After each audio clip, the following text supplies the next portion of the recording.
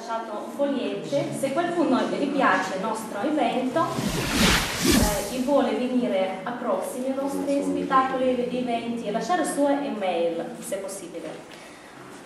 Приятного просмотра. До встречи после спектакля. Tu cerchi la casa in cui io sono nato, oppure in cui io morirò. Sette finestre sulla facciata. Sul portone d'ingresso sporge un enorme pioppo bianco. Io sono Anastasia Emanuele sorella minore di Marina. Lì da qualche parte si sentono i passi di nostro padre, filologo, scienziato, professore all'Università di Mosca, fondatore del Museo Pushkin. Nostra madre ci ha riempiti di musica, ci ha colmati come un olivione. Lei ci ha riempiti di musica come di sangue, il sangue della seconda nascita Aprivamo le nostre vene per provare ad abbeverare i nostri figli con il sangue della nostra malinconia.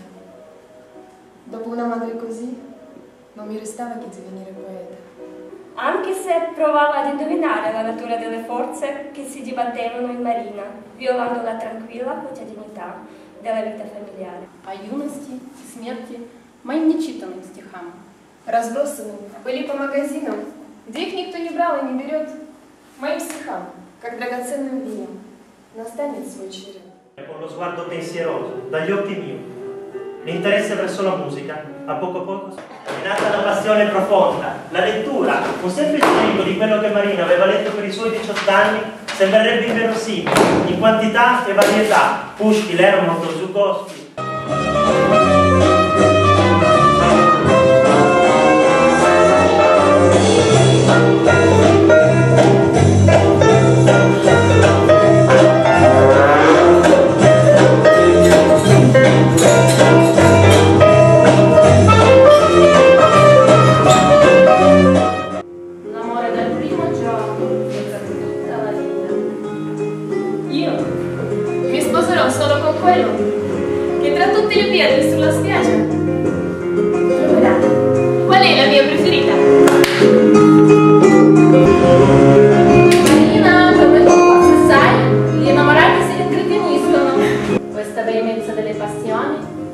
ci scotta ancora oggi.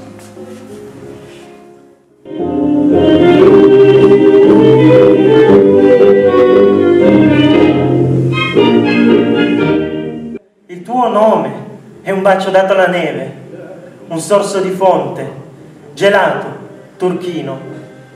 Col tuo nome il sonno è profondo. Как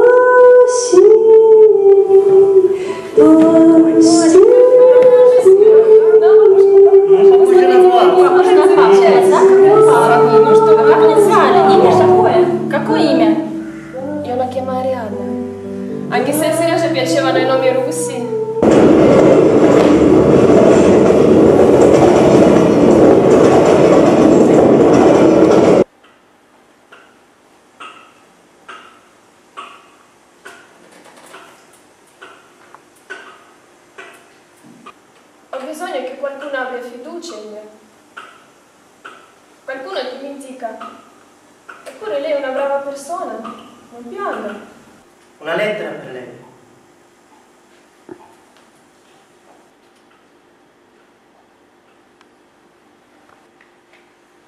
Difficile da credere. Lui è vivo. È riuscito a sfuggire dalla Russia. Vivrà e studierà a Praga. Ale! Ale, prepariamoci!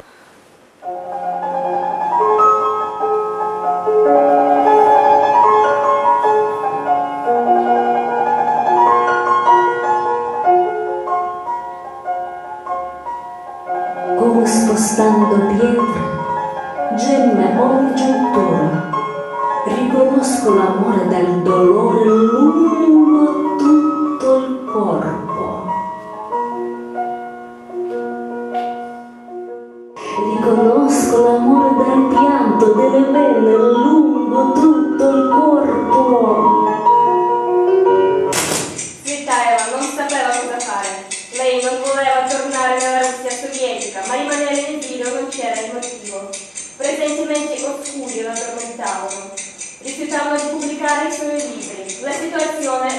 immigrati diventava sempre più difficile. Il mondo arrivò alla guerra. Nel giugno 1939 Svitaeva e il figlio tornarono in Russia. Quello che è successo alla famiglia di Marina Zvitaeva in Unione Sovietica è ben noto. All'associazione degli scrittori, perfino a Stalin in persona.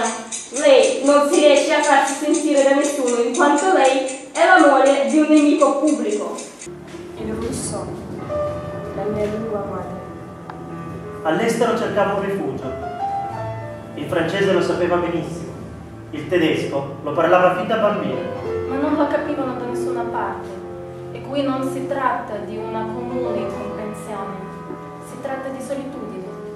Lei lo provava da sempre, indipendentemente dal posto e dal paese nel quale si trovava. La casa straniera è la borsa del mercato. In Russia c'è fame, sfacelo, la rivoluzione e le guerre. All'estero di nuovo povertà, immigrati russi induriti, come succede nella battaglia per la sopravvivenza. Di tutto questo ha un solo nome, giungla umana.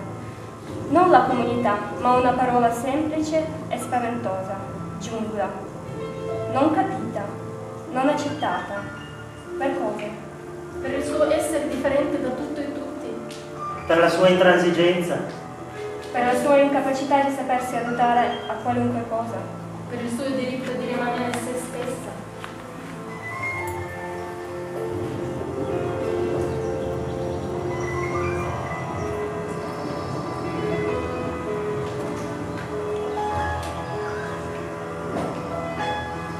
Per l'amore. Terreno e cosmico. Concreto e poetico.